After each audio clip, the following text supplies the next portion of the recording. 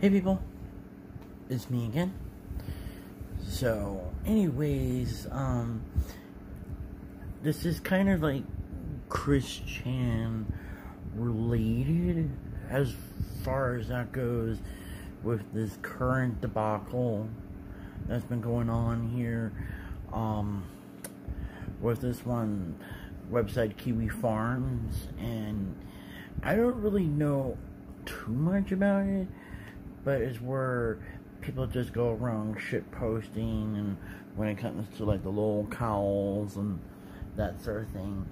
And so apparently the past couple of days it has been blocked and booted off of Cloudflare's uh, content delivery network as far as that goes. And so it's been relatively offline for quite a bit, you know. But there has been some problems with that side for uh, the last month, I think, you know. But when it came to the Sonichu um, side or the CWCki, also went offline probably for a similar reasoning because of due the whole circumstances when it came to Chris Chan early last month as far as that goes. You know?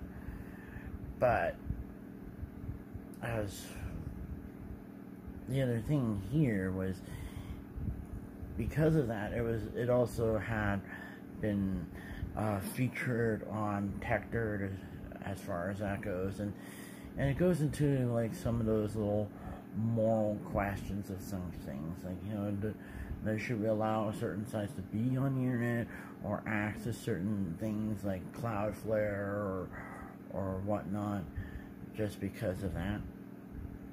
And then should certain sites should be booted off the internet just because we just don't like what's on that site or something like that? You know what i mean but then it just reminds me of all that kind of stuff that was going on back in the early days of the internet, where where certain people were trying to ban, you know, porn sites off the internet or something like that, you know.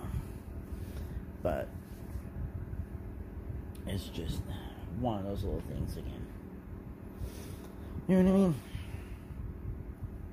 So considering the other thing here, you know, when it comes to that, it's not just Kiwi Farms, you know, or the Sonichu one, but it was also like Onion Farms. That was also Kangol's site there. But I don't know if like Encyclopedia Dramatica is still on, or some of these other sites are like that that that are kind of known to that to do that kind of stuff. You know, if it was 4chan or 8chan or or 4kun, 8kun or something like that. You know, as far as that goes. You know what I mean? But considering all of that sort of stuff there, it's like, you know there has to be a lot of accountability, but then it's like, you know, where do we draw the line on on keeping kids safe and not infringing on people's rights to express themselves and all that, you know. And it just goes like the same sort of arguments that were going on back about, you know, 20 or 30 years ago, you know, when it was the the height of the the moral majority, those type of people back then, you know, that wanted to clean up the airways because they don't want kids to learn about sex or something like that. Yeah.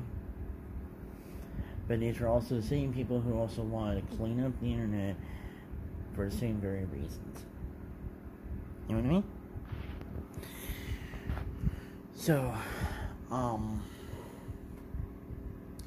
I don't know what else I kind of wanted to put into, you know, with this. But I think if there's other things that I want to add on to this sort of thing, you know, I'll probably put in another video.